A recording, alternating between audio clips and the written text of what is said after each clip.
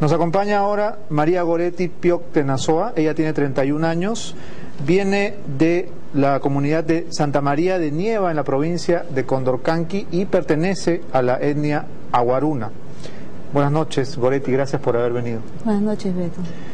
Acompáñanos a ver la traducción de parte del testimonio que emitiéramos anoche gracias al reportaje realmente excepcional que obtuvo Alonso Gamarra en la zona de conflicto, en Imacita, en Bagua. Él continúa desde allá enviándonos información y habíamos puesto este testimonio, desgarrador incluso cuando no se entendía.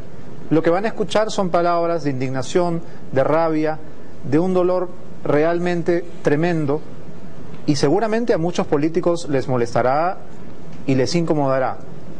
Pero, como dijimos hace un rato, esta mujer tiene derecho por lo menos a ser escuchada y a ser escuchada en todo el Perú. Adelante.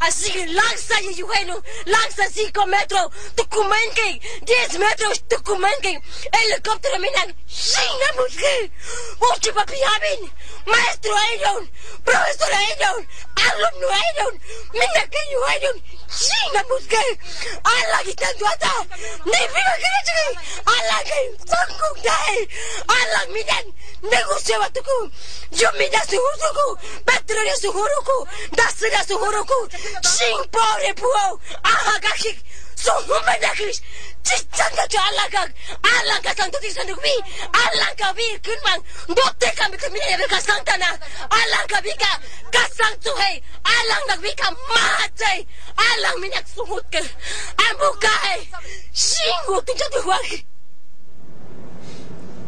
Estremecedor, absolutamente estremecedor lo que esta mujer dice.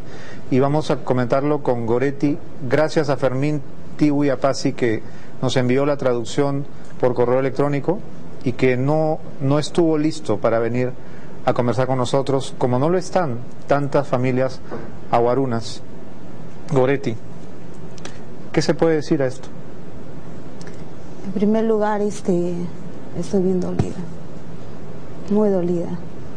Eh, he estado llorando toda esta semana.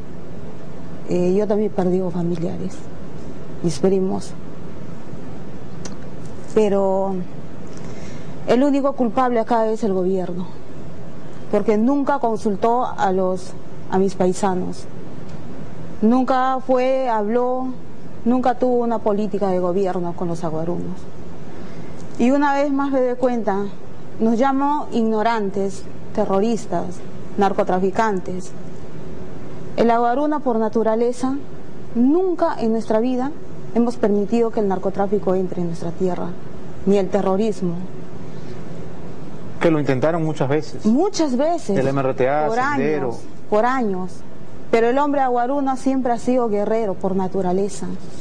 Nunca hemos pasado por, este, por ese desastre, por, por tanta matanza. Tanto, yo estoy dolida tanto para, por- con los policías porque no merecían morir de esa forma. Y tampoco mis hermanos nativos ni, ni Wambisa. Esto es un, un duelo nacional para mí. Para el gobierno no, él sigue, él sigue con su política, a él no le importa nada. Es triste ver a una mujer aguaruna que nadie le puede entender todo lo que dice. Pero gracias a Dios a alguien se le ocurrió la gran idea de traducir lo que dice esta